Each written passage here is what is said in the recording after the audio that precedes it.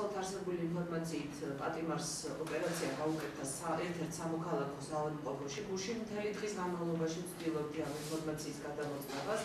უდუშალური ამ ინფორმაცია. მოძია მართავად გამოვაცხადოთ. ხადია რეჟიმი მოშლა. ფოტომასალა მე მომაწოდა ორშაბათს გვიან ღამით ერთ-ერთმა პიროვნებამ, ცხადია მის ვინაობას ამ ეტაპზე არ დავასახელებ.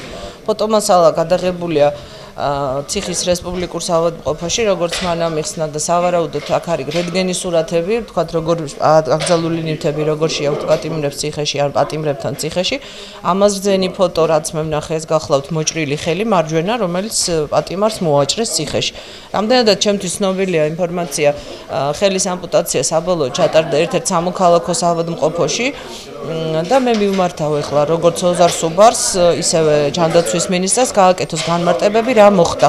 ეს არ არის რიგითი კომპრომატია და ხელოვნურად შექმნილი ფაქტი. იმედი ახლა სოზარი არ ფიქრობს, რომ ვინმე სპეციალურად მოაჭრა ხელი ვინმე იმის პატიმარს იმის გამო რომ მის წინააღმდეგ გამოიყენო. იმედი მაქვს ჩვენ ყველანი ერთად შევძლებთ გავიგოთ რასთან გვაქვს საქმე. ეს არის მაყურებლის მიერ ჩადენილი დანაშაული თუ ეს არის ციხის რომელიმე თანამშრომლის მიერ ჩადენილი დანაშაული.